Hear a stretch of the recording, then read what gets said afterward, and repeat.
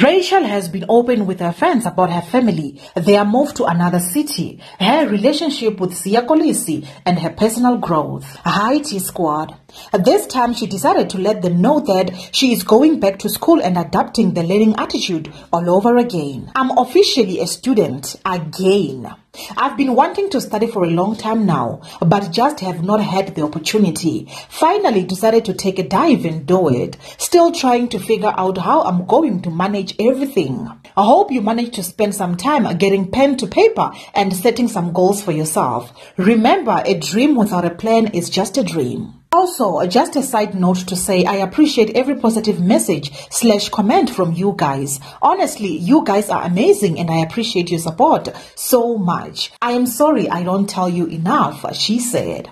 T Squad, I simply encourage you to go do all those things that you have always wanted. Go after your dreams. This is your chance to start over, start new, succeed. And that's it for now, T Squad. Do leave your comments down below.